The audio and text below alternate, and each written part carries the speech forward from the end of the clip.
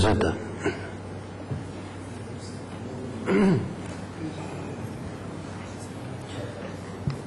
Declaro abertos os trabalhos e retomamos o julgamento do referendo da medida liminar na ADI 4.638, devolvendo a palavra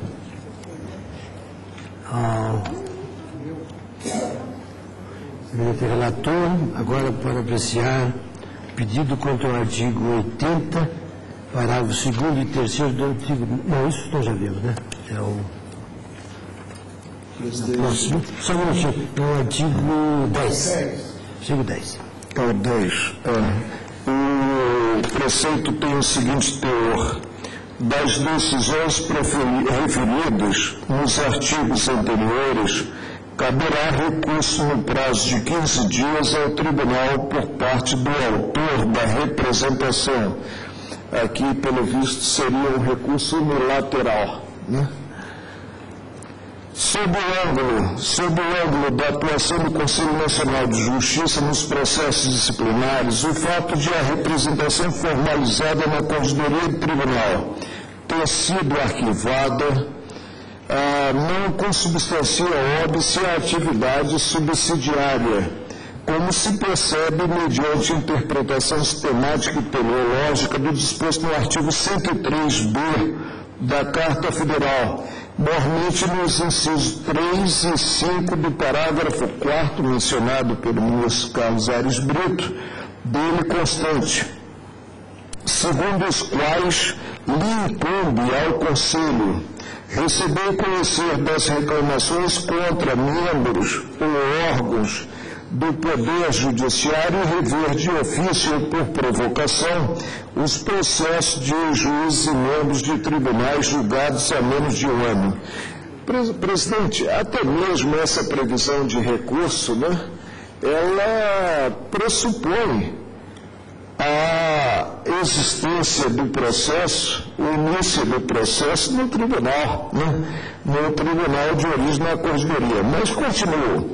No entanto, os mencionados artigos da Constituição da República não autorizam o Conselho a instituir, em caráter geral e abstrato, recurso no procedimento disciplinar em trâmite nos tribunais sob pena de ofensa à reserva de lei complementar para reger o procedimento disciplinar voltado à apuração de faltas puníveis com remoção, disponibilidade e aposentadoria compulsória ou de ofensa à autonomia dos tribunais para estabelecer o procedimento destinado à apuração de faltas puníveis com advertência e censura. Em outras palavras, enquanto não editado o novo estatuto da magistratura ou alterado o atual, o Conselho Nacional de Justiça pode, pode, na forma do artigo 5 da emenda constitucional número 45 de 2004, fixar as hipóteses em que reverá de ofício, como está na Constituição, ou mediante provocação, os processos disciplinares de juízes e membros dos tribunais julgados há menos de um ano, mas não lhe é dado criar recursos contra decisões administrativas disciplinares de tribunais tomadas em procedimento reservado à normatização do legislador complementar ou dos próprios tribunais, dependendo da sanção aplicável. Nesse aspecto, procede o pedido formulado. Como eu disse, o preceito é até defeituoso no que prevê um recurso unilateral, ou seja, um recurso a ser interposto apenas ah, pelo autor da representação apresentada na corregedoria do tribunal de origem, se julgado pedido improcedente. E é um nada, é um vazio, porquanto pode o CNJ, fim do processo, e dentro de um ano, né, ah, pedir requerer, determinar a remessa a ele para reexame da decisão proferida. Então, preconizo, presidente, o referendo da liminar deferida. Presidente, eh, Então, como manifestaram no, no item anterior, eu entendo que aqui é, é, é também uma disciplina típica é, do, do poder convencional geral atribuído a esse é, órgão né, como cúpula é, do sistema. Na verdade, se refere à chamada investigação preliminar, que se, é, se, foi incorporada praticamente a, a todos os, por todos os tribunais. Na verdade, consta de vários regimentos internos de vários tribunais. De modo que nessa linha não vejo nenhuma exorbitância por parte do CNJ ao prestigiar, vamos destacar, prestigiar a decisão do tribunal nesse caso. Porque o que se, está, aqui não se trata de recurso para o CNJ, mas para o próprio tribunal. De modo que eu peço ver meu relator para é, indeferir a cautelar nesse ponto. Bem, presidente. Eu indefiro exatamente na linha do posto pelo ministro Gilmar, com as vendas do ministro relator, porque entendo que neste caso foi um, até um fortalecimento, mas visando que houvesse a, a uniformização. A exatamente isso me preocupa a unilateralidade. O recurso Vossa Excelência tem toda a razão, não é para o CNJ. O recurso é para o próprio. Se fosse para o CNJ, eu não, não teria, porque aí sim está dentro da competência dele estabelecer o recurso para o funcionamento dele. Ou seja, das decisões locais pode caber o recurso do CNJ. Isso tem sentido. Isso tem sentido. Apenas mas não há previsão no dia de regulamento. E foi o que eu disse de início, né? o preceito é defeituoso no que cria um recurso unilateral. Só o autor da representação não representado pode interpor esse recurso pelo preceito. Segundo, em segundo lugar, né, nós temos, de qualquer forma, a possibilidade de revisão por provocação ou de ofício dentro de um ano né, ah, pelo CNJ revisão da decisão prefeito. Reforça, inclusive, a autonomia do tribunal, porque, nesse caso, haverá decisão é, por parte do tribunal. E daí sim poderá haver eventual evocação, avocação é, pelo, o, pelo CNJ. De modo. É, mas há mais um detalhe, há mais um detalhe, há mais um que deve ser previsto regimento interno nessa sua posição. Se não, se o regimento interno tiver a previsão do processo administrativo, muito bem. Mas não podemos, a meu ver, cogitar, até por coerência que estabelecemos anteriormente, de um recurso criado mediante a atuação ah, do, do, CNJ via regulamento né, e de observância obrigatória pelo tribunal. Né. E, de qualquer forma, presidente, quem julga o processo administrativo, quem pode impor ou não impor a penalidade é o tribunal, já é o tribunal. Seria um recurso. É a investigação penal, é da investigação. Todas as decisões contra anteriores. Contra arquivamento. Aqui, todas as decisões e, e é unilateral por uma razão simples. É, é, o representado não terá interesse, porque a decisão foi, foi favorável a ele.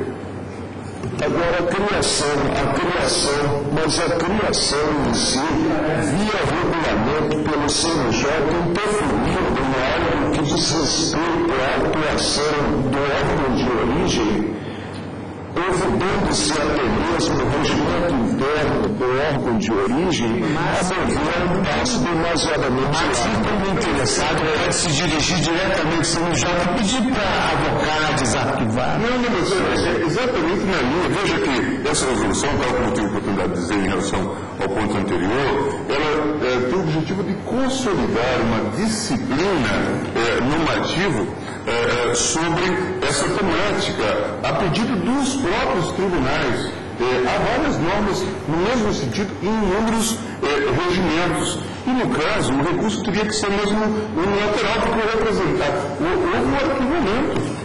Bom, mas se vocês me permitem. Veja, eu não concordaria com o raciocínio da Excelência se nos artigos anteriores só cuidasse do arquivamento. O artigo 8 não cuida só do arquivamento. Porque veja o seguinte, não está nem especificado o órgão. Então, o que diz é uma razão de ser. O artigo 8 não cuida só do arquivamento. Não, eu, eu iria. Neste caso, Nesse caso, isso vai para o 14, presidente. Onde há a defesa prévia preliminar perante o. A defesa prévia se dará na forma do 14, caput, de acordo com a remissão que. Se houver prosseguimento, tem que ser instrução. Já vai ser no tribunal. Já é como se fosse automático esse, esse recurso. Explique então a resolução. 14 caput. Fez referência a artigos anteriores. Aí é a técnica redacional equivocada. Aqui, senhor presidente, eu, sem prejuízo do que afirmei no voto anterior, de que todas as competências do CNJ são otorgadas diretamente pela Constituição e os dos tribunais também pela Constituição, mas aqui, no inciso 1 do parágrafo 4, o inciso 1 também é instrumental do controle, que está no artigo 4 e o controle compete ao CNJ. Aqui é uma referência ao, ao Estatuto da Magistratura, habilitando o CNJ a expedir regulamentos, ou seja, regulamentos para aplicar o Estatuto da Magistratura. É, exato. E, partido desta. e, e o que disse o ministro Marco Aurélio me parece, ou o ministro Gilmar Mendes me parece correto. É uma providência é, federativamente uniforme para viabilizar exatamente o controle. Nesse caso, eu vou acompanhar a divergência. Até porque, não, ministro Brito, a, a emenda da resolução diz que dispõe sobre a uniformização de normas. É. Se fosse de, de cada tribunal, não teria que uniformizar, cada um trataria. De- Essa é a razão pela qual eu também estou acompanhando a divergência. Mas do relator. Eu estou preocupado aqui com um princípio fundamental que é contraditório e a previsão da recorribilidade a todos que se sintam, que se sintam lesados, teoricamente, pela decisão. Eu estou olhando aqui até o artigo 22, que você mesmo fez o artigo 14, não encontrei nenhuma previsão de recurso por parte do magistrado público. Nenhuma. senhor presidente. Nenhuma. O recurso por parte do interessado é a expressão do, do Princípio constitucional. princípio constitucional da, da, da, de inspecção. Não prevê é, significa. Eu estou interessado, ministro. Se sujeito se submete ao duplo É, por parte do autor da representação. A unidade da finalidade dispositiva foi evitar que o corregedor, no exercício da sua função, entendesse somente a importância como está previsto no artigo anterior, o fato noticiado do arquivasse. Desse arquivamento coubesse recurso para o tribunal. Qual o órgão? Primeiro, se o regimento interno do tribunal tiver, é, tiver um órgão próprio, um recurso próprio, esse dispositivo se sobrepõe ao regimento interno. Eu vou, eu vou fazer uma colocação para mostrar que o presidente. Em lugar, imaginamos, imaginamos que o representante, diante do arquivamento da representação, não interpõe o recurso. Esse fato, essa emissão, essa inércia, obstaculiza a atuação, ou por provocação, ou de ofício do CNJ, né, requisitando o processo para revisão da situação, então, após Não se trata disso. Se trata de apreciação do tribunal, me parece que é absolutamente irregular dentro da ideia de uma disciplina do sistema. algumas objeções quanto ao alcance da competência normativa do CNJ. Mas o mais grave que está me parecendo aqui é a infração ao princípio do contraditório, onde o recurso é sempre deferido em termos gerais para quem se sinta lesado pela decisão. Não apenas para o autor da representação. Onde é que está aqui na, na resolução possibilidade, admissibilidade do recurso? O lesado eventualmente é um elemento O artigo 10 refere-se às decisões mencionadas nos artigos anteriores. De um lado, a a, questão da comunicação feita pelo autor da representação. Licença, se a, a representação tiver curso e for julgada procedente, a decisão que é a instalação do próprio processo. O processo não é nenhum recurso.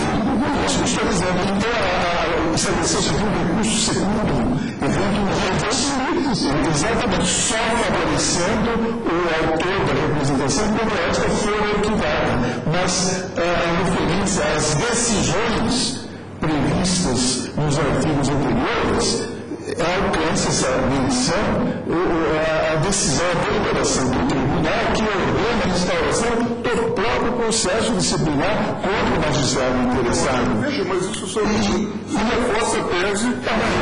Isso, isso sim, essa regra reforça a tese da competência plenária dos tribunais locais.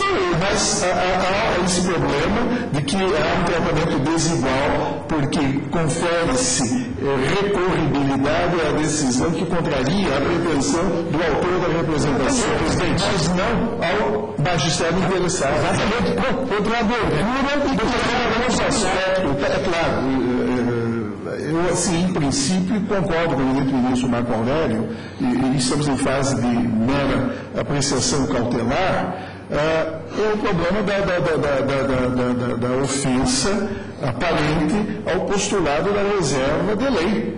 É, uma vez que o parágrafo, o parágrafo terceiro, né, o segundo do artigo 5 da emenda constitucional é, 50, 45, desculpe-me, o, o parágrafo segundo do artigo 5 é, a mim não me parece conferir base é, que justifique e legitime uma competência normativa do, do CNJ que, que, que lhe permita, que o autorize a instituir recursos no plano interno de outros tribunais. Exatamente. O senhor presidente só uma observação da é, apenas para reforçar, o artigo 96, ao dispor que compete privativamente os tribunais uma série de funções, dispõe eleger seus órgãos eh, diretivos e elaborar seu regime com observância das normas de processo e da garantia processual das partes.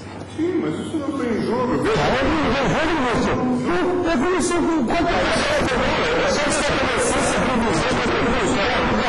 a origem de toda a discussão sobre a criação do conselho.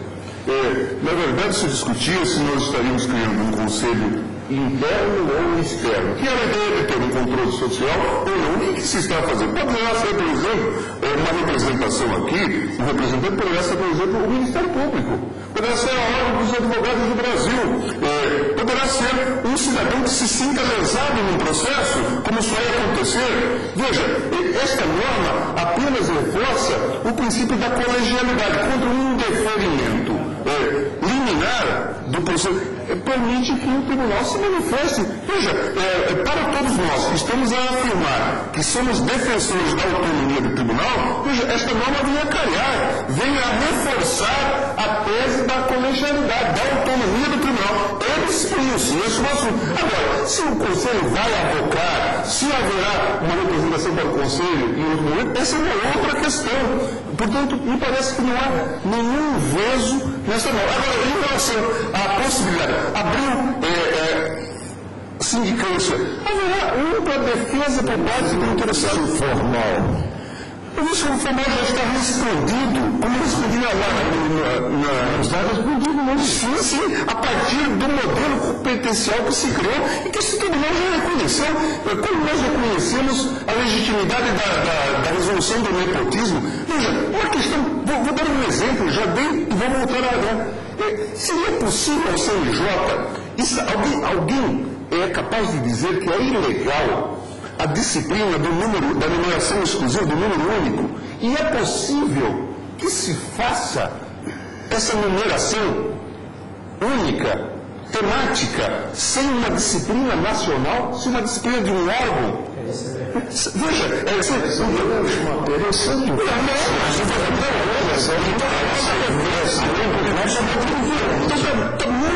muito claro que aqui o, o, o, próprio sistema, nós estamos a falar, vou repetir, nós estamos a falar de um órgão de cúpula do sistema correcional.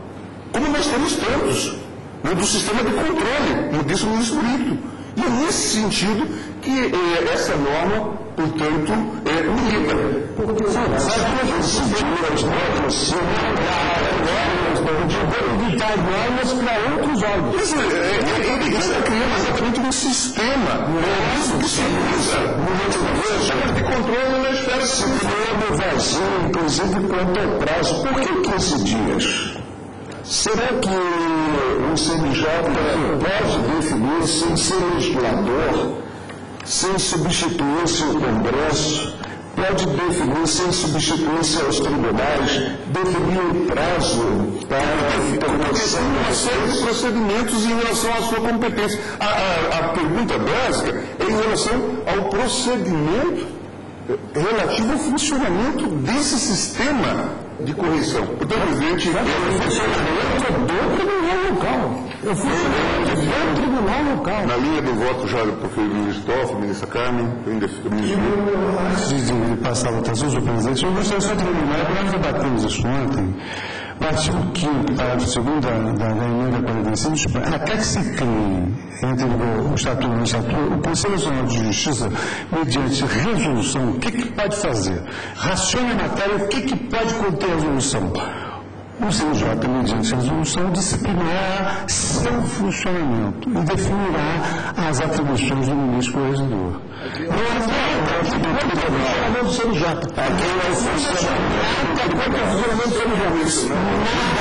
Nada, nada, nada, nada parte do 103. Mas você é um regulamento desse regulamento da atividade dele, funcionário do regulamento da atividade dele. O seu regulamento é social do órgão administrativo que regulamenta. E a atividade é administrativa. Porque se for administração expedir um decreto de regulamentar a atuação do órgão de novo poder do novo Estado.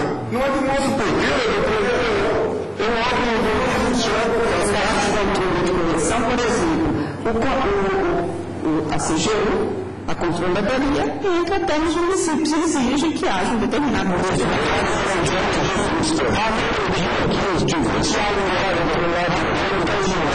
que entendeu, autonomia estadual, que não é permitir que a União baixe um decreto dizendo como é que deve funcionar o hospital municipal tal, ou órgão da União,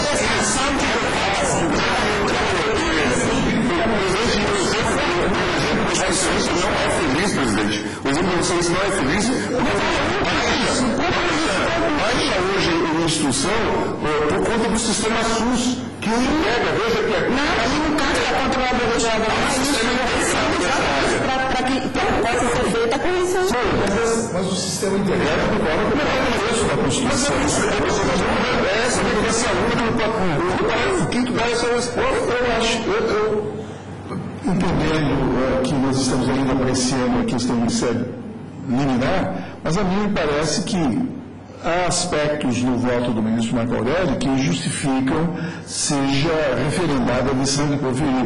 Do lado, há esse ponto que me parece importante, o parágrafo 2 do artigo 5 da emenda constitucional é, que, 50, 45 né, de 2004, essa, o parágrafo 5 do artigo 2 não dá, a meu juízo, o fundamento que viabilize e legitime o exercício pelo pelo CNJ de uma competência normativa que extravase os limites de sua própria organização, de seu próprio funcionamento, a ponto de, no caso, estabelecer um mecanismo recursal interno no âmbito não apenas dos tribunais locais, mas de outros, outros tribunais da União, todos amparados expressamente eh, pela cláusula constitucional da autonomia. E, e, e, isso está claramente estabelecido, seja no artigo 96, inciso 1 da linha A, como pelo, pelo próprio artigo 99 caput da Constituição.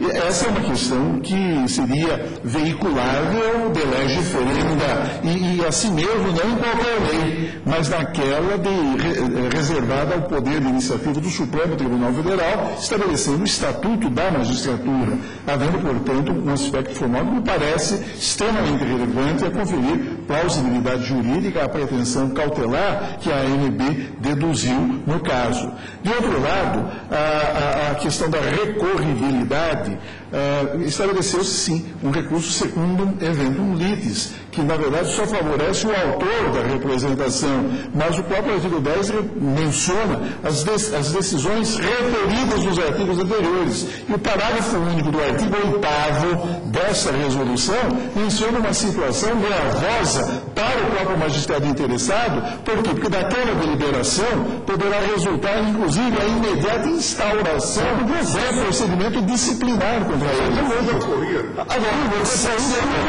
é recurso interessado. Se é verdade que, que, que essa regra, sim, confirma a tese da competência, quer dizer, eh, da competência primária dos tribunais, e não só dos tribunais locais, mas também dos tribunais da União, sujeitos sim à jurisdição censória, eh, não é, em tese do, do CNJ, mas, do outro lado, a mim me parece que o meio uh, utilizado, quer dizer, não poderia o CNJ, em sede meramente regimental, extravasando os limites delineados no parágrafo 2 do artigo 5 da Emenda Constitucional 25, estabelecer eh, eh, a existência, instituir a existência de um recurso, de um recurso administrativo eh, mediante simples resolução. A educação, pelo menos, tem relevância é extremamente relevante, mas eu, a mim me parece muito densa a plausibilidade jurídica. Eu, por isso, pedindo venha, não obstante, reconhecendo o, o, o, a, os substanciosos fundamentos expostos pelo ministro Gilmar Mendes e pelos outros ministros que acompanham Sua Excelência, eu peço venha para referendar a decisão do senhor. Mais uma ponderação, que é o seguinte, como aqui o recurso não é um recurso equitativo, como é da natureza do recurso, não conheço. Bilateralidade. Não conheço nenhum recurso. A instauração. A instauração visada, elogiado. Do oitavo combinado com o que é Agora, aqui se trata de uma representação que foi em limine arquivada.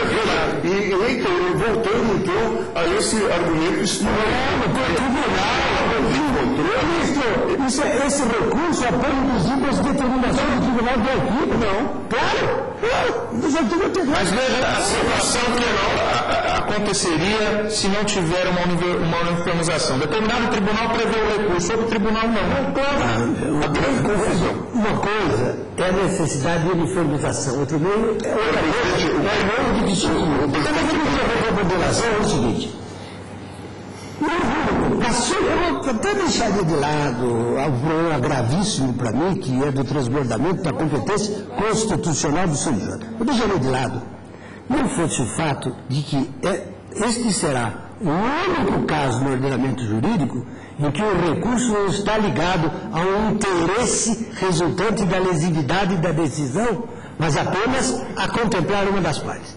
O que eu quero dizer é o seguinte: o que me parece eu não sei bem o termo para usar, mas alguma coisa que me choca é que não se assegure aos magistrados aquilo que os magistrados, segundo a lei, assegura às partes dos processos jurisdicionais. Mas não se trata de... O tratamento igualitário, o tratamento igualitário que compõe a estrutura do procedimento do contraditório. Isso que é?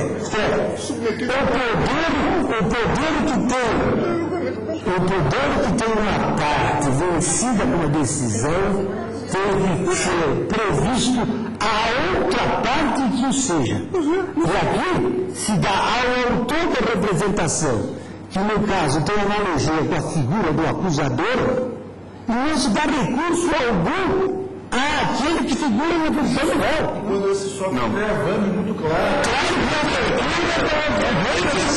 É interessante, Isto é, interessante. nós não vemos nos magistrados, isso é público, os magistrados, por força do pedido ao tribunal. O que eu preciso é que essa magistrado, o exercício de direito, pelo fato dele ser magistrado democraticamente. Está fazendo para CNJ o como e, veja a confusão em que nós nos envolvemos nesse caso. Dizer, reiterando todo o trabalho que foi feito no CNJ, é, veja que, e não deveria haver essa descontinuidade, mas houve, infelizmente, veja que todos foram ouvidos na, na feitura, na elaboração desta norma, como já está é, demonstrado. Mas veja a manifestação da AMB pelo seu então presidente, a propósito dessa resolução como um todo. Veja, a Associação dos Magistrados Brasileiros, após análise de toda a documentação enviada por Vossa Excelência, solicitando a manifestação desta entidade sobre a alteração da redação dos dispositivos da, da Resolução 30 de março de 2007, que trata da uniformização das normas relativas ao procedimento administrativo disciplinar aplicável ao magistrado, entendeu que as propostas resolvidas já são suficientes para o aperfeiçoamento da referida resolução, não havendo, portanto, qualquer reparo a fazer, nem sugestões a apresentar. É, como disse Vossa Excelência, esse dispositivo é operacional o sistema de fiscalização de controle horários e o dever de controle é um princípio. E como princípio subordina os Estados-membros à luz do artigo 125 da Constituição, parte permanente, e artigo 11 da Constituição transitórias administrativas, o administrador advogado quer usar a palavra? Vocês querem usar a palavra? O ministro relator concede? Sim, presidente, sempre pronto os senhores advogados. Você está dando esclarecimento no caso de fato, limite o ministro Gilmar Mendes com relação a esse ofício da INB, que a, o então presidente encaminhou, porém estava em deliberação, tanto assim que a diretoria entendeu de propor agir tão logo foi concluído o estudo pela inconstitucionalidade. Há várias coisas. Então, no momento de bem esclarecimento. O, ofício do presidente da INB, a que se refere ao ministro Gilmar Mendes, a época que foi enviado, ainda não havia um estudo da, ANB pelo propositor da ação. Quando se concluiu, a entidade entendeu pela propositura. Foi naquele momento um entendimento exclusivo pelo tempo de qualquer forma, presidente, o arrependimento é eficaz. Aqui não viu a manifestação, manifestação de.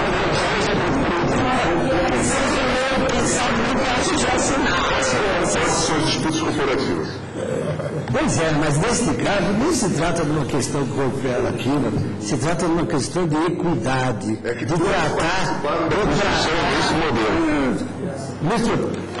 Falsos congressos participaram de constituições editadas mas, por ditadores.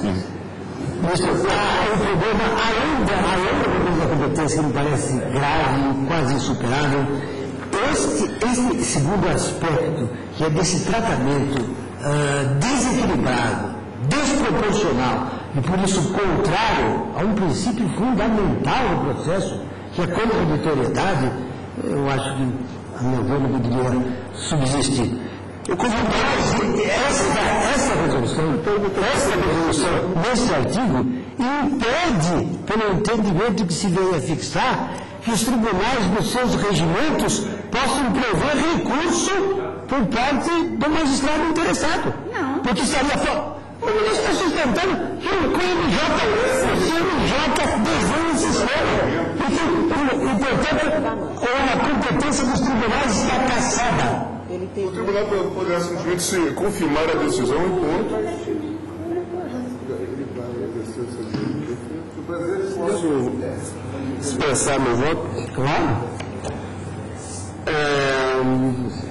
Vossa Excelência, na qualidade de presidente desta corte, só para ilustrar, tanto Vossa Excelência como nós, os demais membros desse tribunal, nenhuma das nossas decisões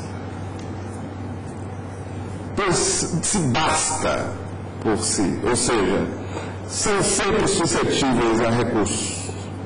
Não há no sistema público, no sistema de direito público brasileiro, especialmente no judiciário, decisões terminais no âmbito de colegiados por parte de individualidades componentes desses, desses, desses tribunais. Uma decisão aqui no caso, a decisão do, do, dos corregedores ou do corregedor, é natural, isso é uma decorrência natural do sistema que haja um recurso para o colegiado. Nada demais. Quantos recursos internos são criados, alguns deles são, inclusive, previsão é, é, expressa em norma, em norma de hierarquia superior. Por quê? Isso é, é, é decorrência natural do sistema, ou seja, do fato de que decisão individual, a decisão monocrática de membro de colegiado, sempre é suscetível a recurso.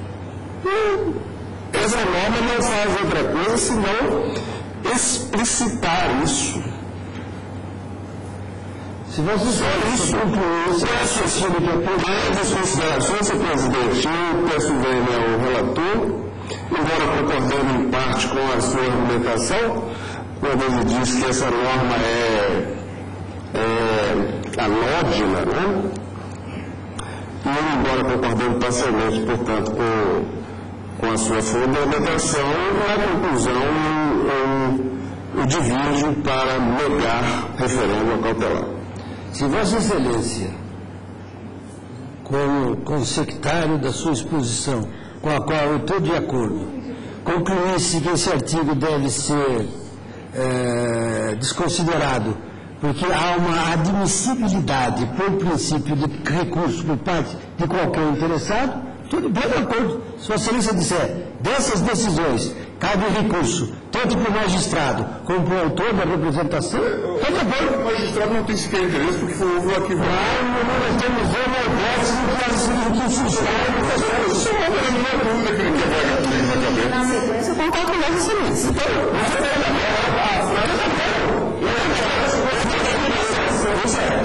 Ministro, isso eu estou tentando ajustar o meu raciocínio com o de Vossa Excelência.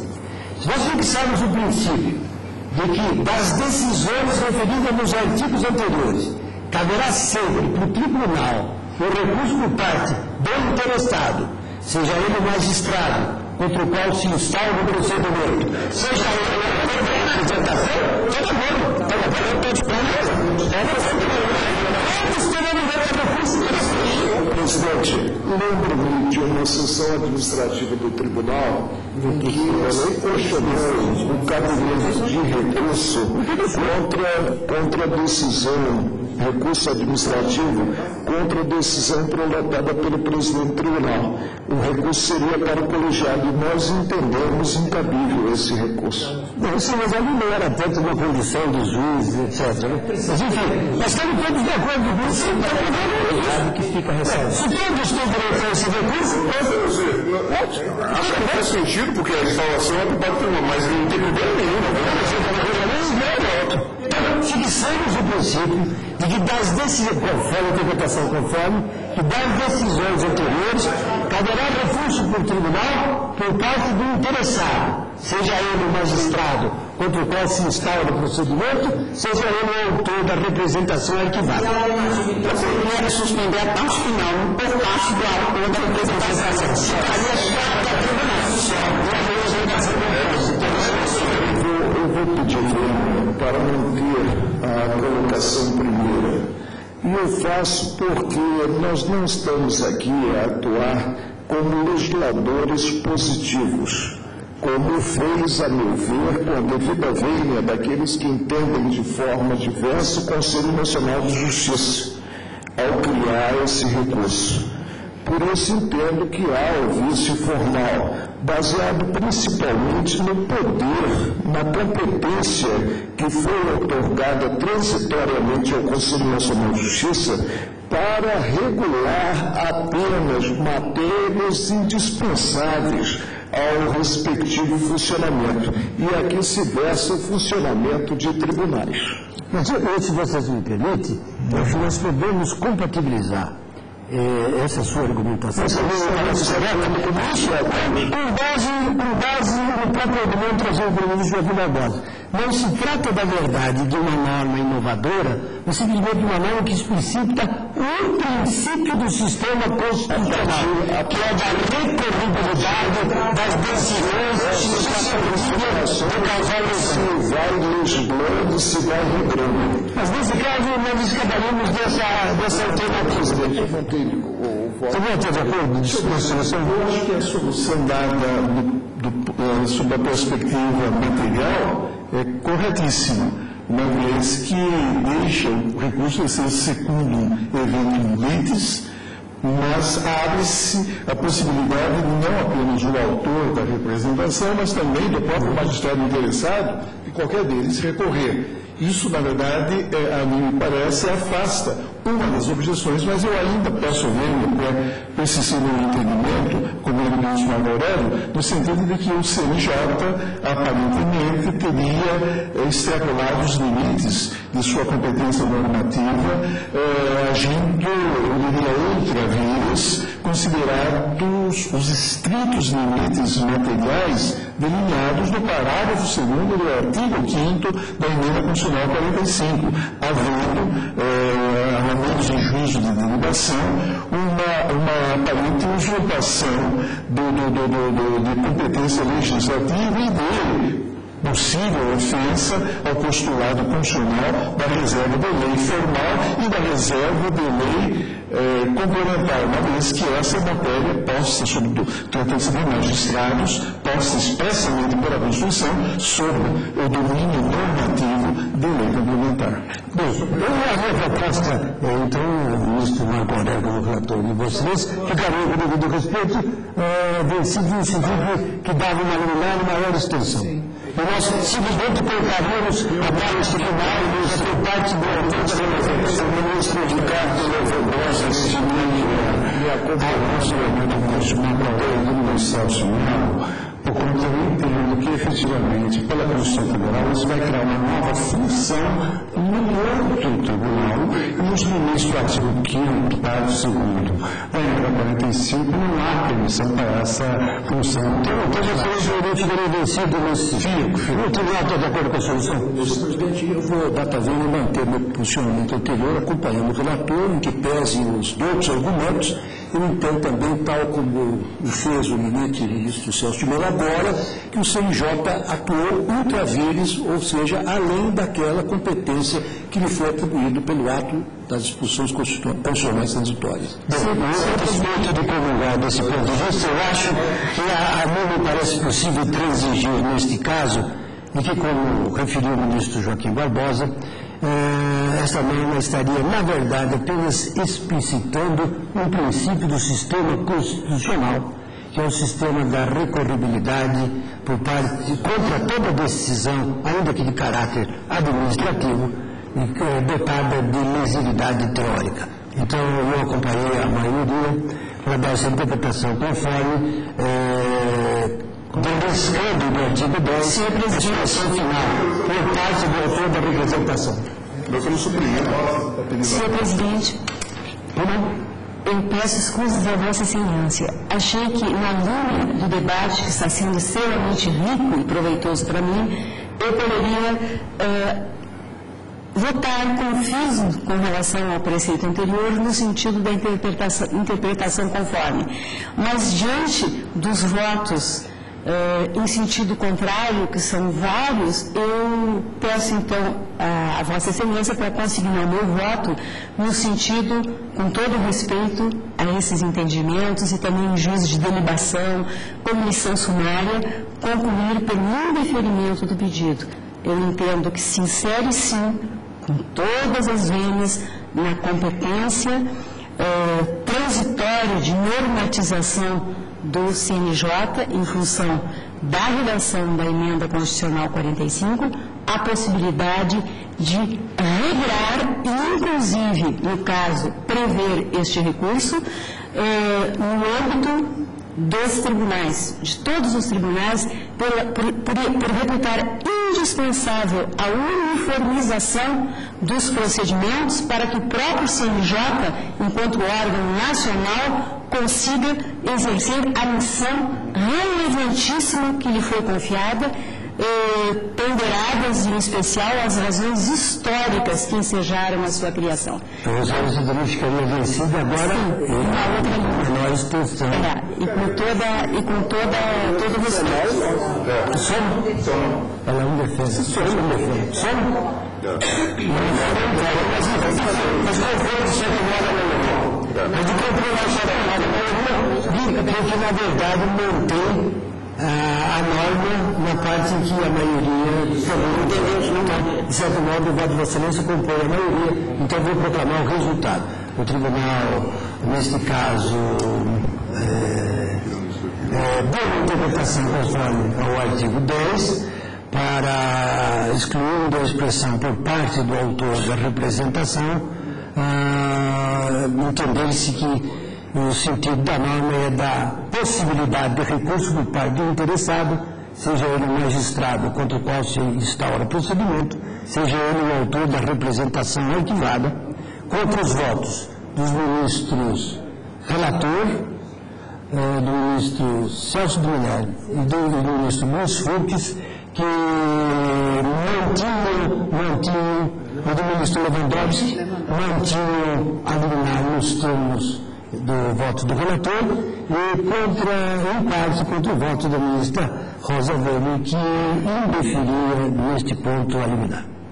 Passamos então agora ao artigo, ao artigo 12, capítulo e parágrafo único, palavra retorna ao eminente relator. Em primeiro lugar, eu faço um aditamento à nomenclatura da linha G para referir-me também, como está no corpo do voto da decisão preferida e na parte dispositiva da decisão, referir-me também ao parágrafo, porque aqui se ataca não só a cabeça do artigo 12, como também o parágrafo.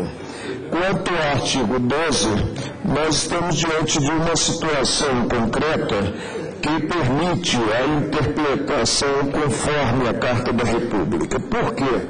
Porque preceitua o artigo 12 que para os processos administrativos disciplinares e para a aplicação de quaisquer penalidades previstas em lei é competente.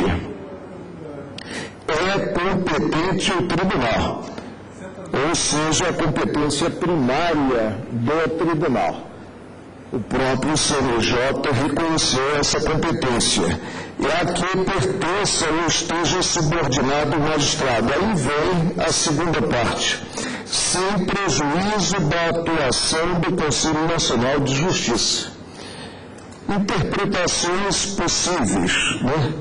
A primeira, que atua o tribunal de origem e, conforme a decisão preferida, possa vir o CNJ, como está previsto na Carta da República, a atuar.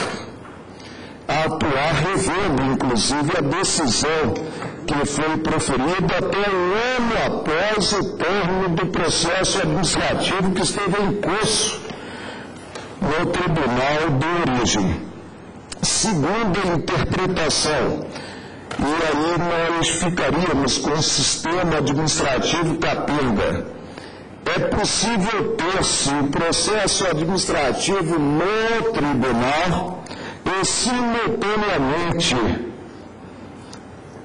considerados os mesmos fatos, o mesmo envolvido, o processo administrativo no Conselho Nacional de Justiça. O que nos vem da carta, presidente? Nos vem que, ao delimitar a atuação do Conselho Nacional de Justiça, né, o autor da emenda constitucional número 45 revelou competir ao Conselho, como foi ressaltado pelo ministro Carlos Aires Brito, o controle da atuação administrativa e financeira do Poder Judiciário e controle também, controle também dos deveres funcionais dos juízes, cabendo-lhe, além de outras atribuições que lhe forem conferidas pelo Estatuto. Um, aí nós temos aqui né, a homenagem a outro preceito da Constituição Federal, a outro valor estampado na Constituição Federal. Um, zelar pela autonomia do Poder Judiciário. Dois, zelar pela observância do 37 quanto aos predicados da administração pública, né? ah, podendo desconstituir atos, inclusive atos formalizados em processos administrativos disciplinares, revê-los ou fixar prazo para que se adotem as providências necessárias ao exato cumprimento da lei. Três, receber e conhecer das reclamações contra membros ou órgãos do Poder Judiciário, inclusive contra seus serviços, auxiliares, serventias e órgãos prestadores de serviços notariais e de registro que atuem por delegação do poder público ou oficializados. E aí vem a resposta a uma indagação que eu faço. Pé santo?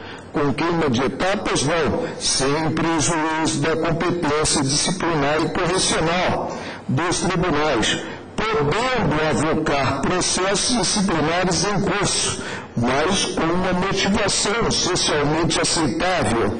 Daí aquelas premissas da decisão proferida pelo decano, que de forma exemplificativa, no caso de inércia, no caso de simulação na investigação, no caso de procrastinação, de ausência de independência do tribunal de origem. Né?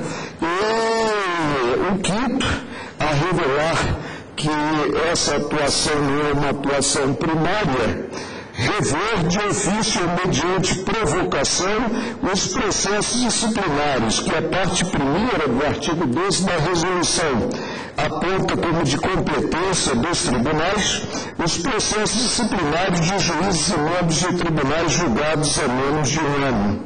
A mais, presidente o CNJ remeteu, reconhecendo a atuação primária das corregedorias, remeteu às corregedorias cerca de 90% das reclamações que recebera na via direta.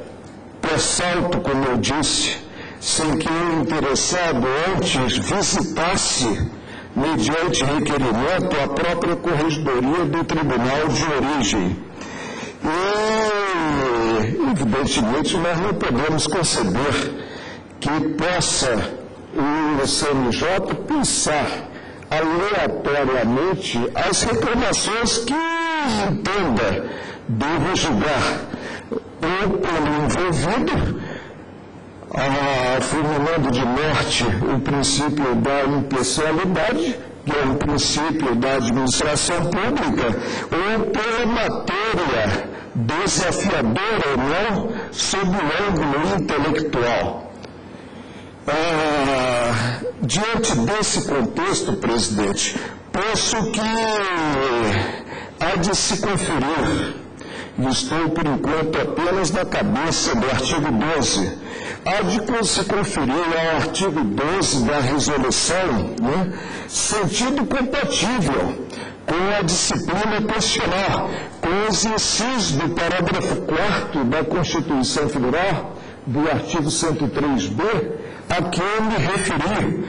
E há de entender-se mesmo porque uma única corregedoria não pode substituir 90 corregedorias existentes e pagas pelo contribuinte, há de se entender que esse sem prejuízo da atuação do Conselho Nacional de Justiça há de ser empregado de forma harmônica com o que está na Constituição Federal,